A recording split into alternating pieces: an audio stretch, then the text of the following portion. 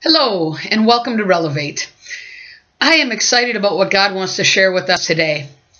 I believe that the Lord is releasing people into the face of the earth right now that are a part of the fivefold ministry the apostles, the prophets, the pastors, the teachers, and the evangelists.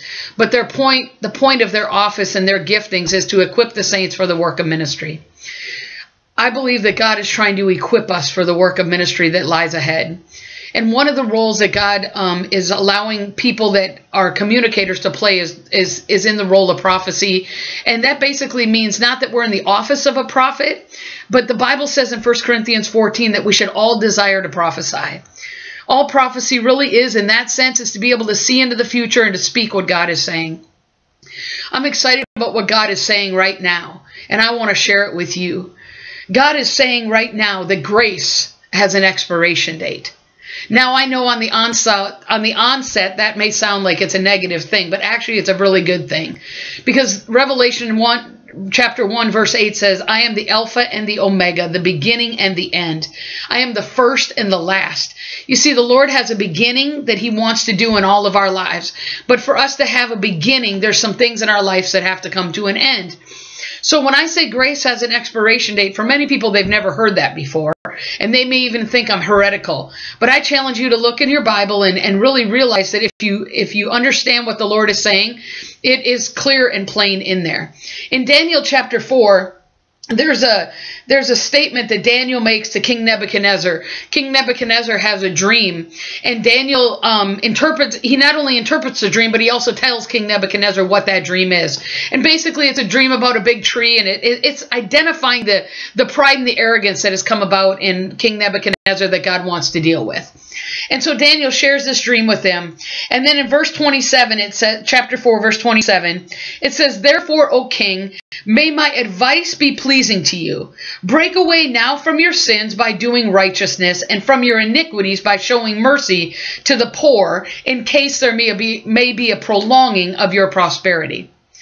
All this happened to Nebuchadnezzar the king 12 months later. From 12 months prior, Daniel interpreted the dream and said, Hey, turn away from your sin, break away from your sin, do righteousness. So, what I've, this dream that you've had will not happen to you. 12 months later, the Bible says that this dream that, that Daniel interpreted for King Nebuchadnezzar, it came to pass. I believe God is saying to people right now, that you have been given a word of instruction, a word of correction, or a word of direction from the Lord, and you have been disobedient to what the Lord has told you to do, and He's got you in a season of grace right now. You haven't seen the fullness of the consequences of disobeying Him, because He is not a father that the minute He speaks in correction or instruction or direction and you don't do it immediately, He does not spank you, scourge you, um, uh, he doesn't get mad at you right away. Not that he ever gets mad at you. But you see, God loves us so much that he gives us a grace period. He gives us time to be able to obey that which he has spoken to us to do. And right now, the body of Christ is in a grace period. But that grace period is about to come to an end. Not only in Daniel chapter 4 does it say that, but also the signs of the times in which we live says that. The four blood moons are an indicator that we are in a season of the grace of God coming to an end. This is not a salvation issue. This is a kingdom of God issue.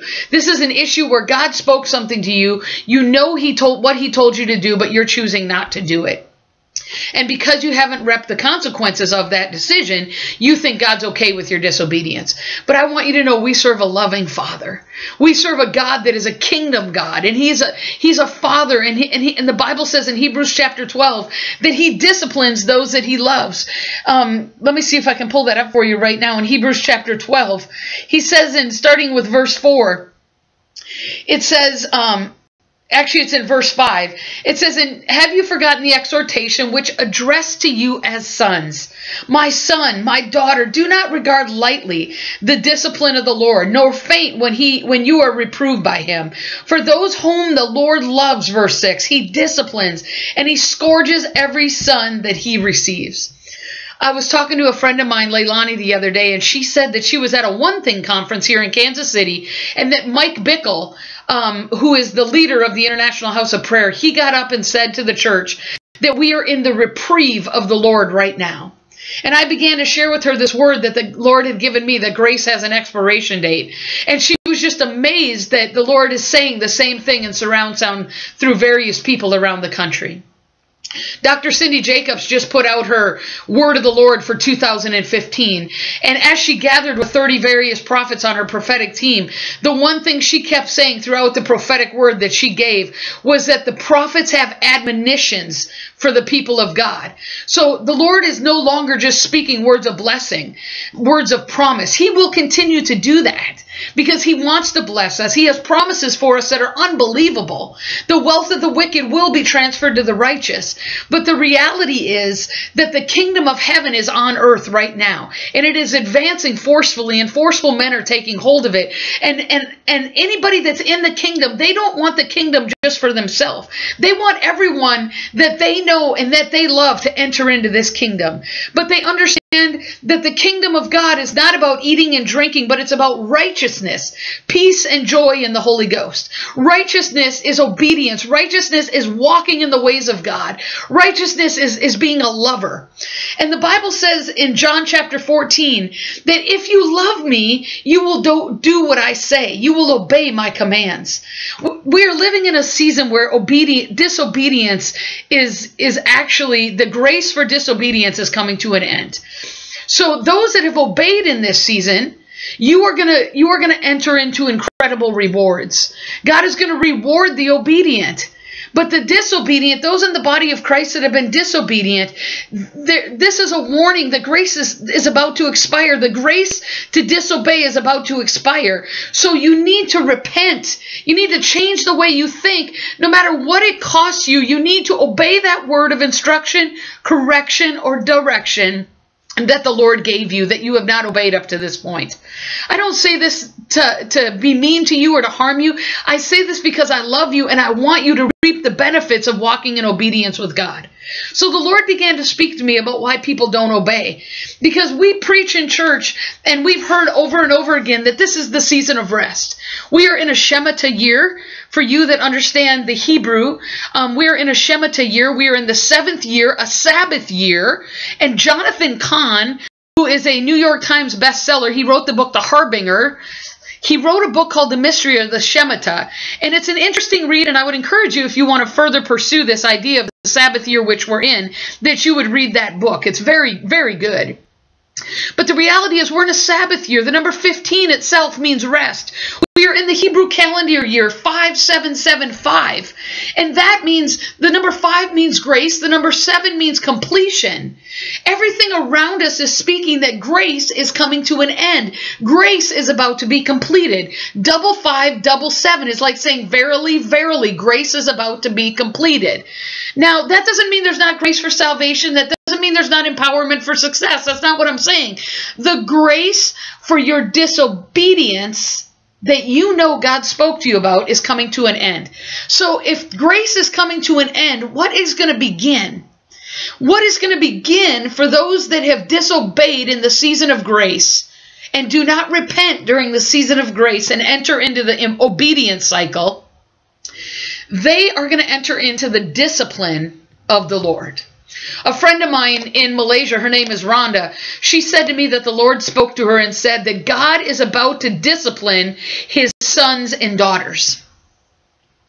Discipline is not because you're an illegitimate child. If you keep reading in Hebrews chapter 12, it says that God disciplines those whom he loves. He calls you sons. That's why he disciplines you. He calls you daughters.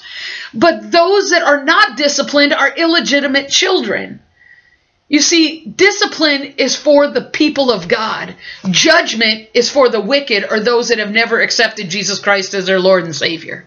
So if God is going to put you into a season of discipline, it's because he loves you. But I want to I want to say today that I believe that part of the reason that people don't obey because obedience leads to rest. So to be in that season of rest, you have to be a person of obedience. But to obey, you've got to be able to trust. But in order to trust, you've got to know the person that you're that's asking you to obey him.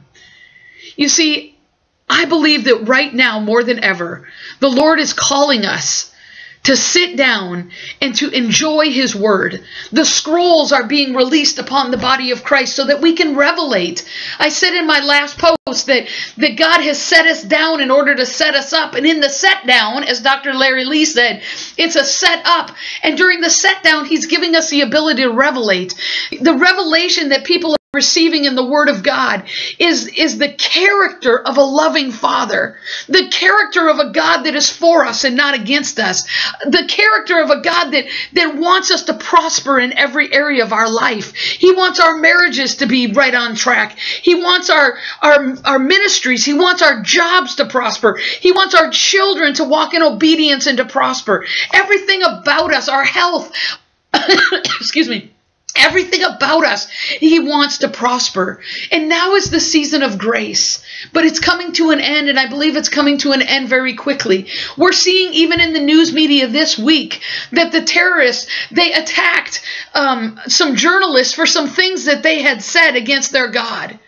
Is it right? Is it wrong? I don't think it's ever right for anybody to die. The Bible says that God does not delight in the death of anyone. But I believe right now, right now in the body of Christ. God is encouraging us to walk in obedience. If you love me, you will do what I command.